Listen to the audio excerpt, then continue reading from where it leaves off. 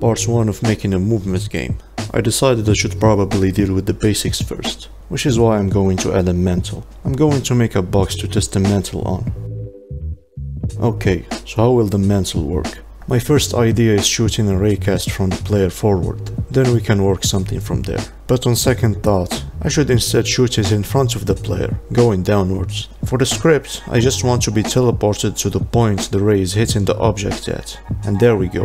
But right now, I'm just being teleported on top of the box, which doesn't really feel like a mantle. Before fixing that, I'll make the box bigger so testing becomes easier. Now, I don't want the character to instantly teleport, so I'll make a separate function and just call it mantle. And inside this function, I just want to be gradually moved to my target's position every frame. To do that, I'll add this line right here, which makes the script wait for one frame before going to the next line.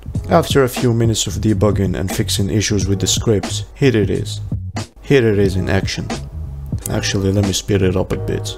This still does look a bit rough, but I'll polish it more once I add more features to this. Comments what I should do next.